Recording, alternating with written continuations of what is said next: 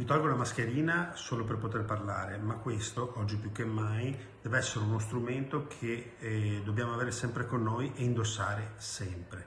Faccio questo appello da assessore alla protezione civile, quindi da chi in queste settimane è stato fianco a fianco con i volontari per fronteggiare l'emergenza. Un'emergenza che non è finita, entra in una fase diversa, quella di contatto con il virus.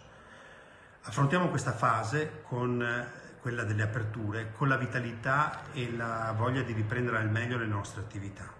Ma teniamo alta l'attenzione e il rispetto delle prescrizioni di sicurezza e l'uso tassativo dei dispositivi di sicurezza, guanti e mascherine.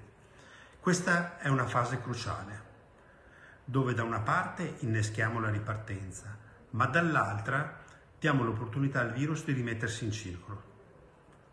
È un passaggio stretto dove non solo i decreti e le ordinanze, ma soprattutto la nostra responsabilità sarà determinante per non ripiombare nel baratro, nella ripresa dei contagi, dei ricoveri, dei decessi e quindi delle restrizioni che devono ritornare.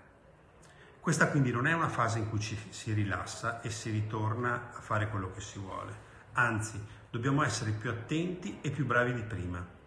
Paradossalmente a casa si stava più sicuri eh, si era meno a rischio contagio.